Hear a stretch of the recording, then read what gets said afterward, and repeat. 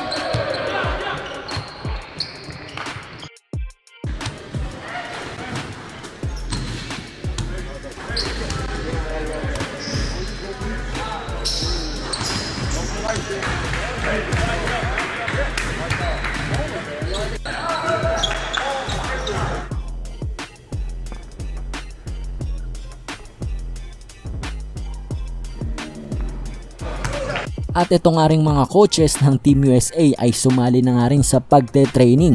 Panoorin nyo. Come on, coaches!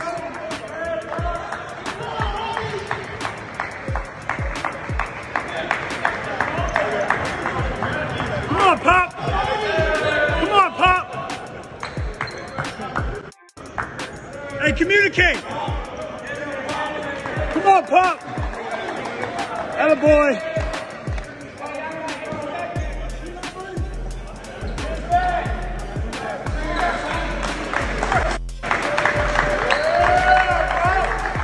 So yun nga lamang guys para sa video natin ngayon. If you guys like the video, make sure to like the video and if you not subscribe, syempre mag-subscribe ka na dahil everyday meron tayong mga NBA updates.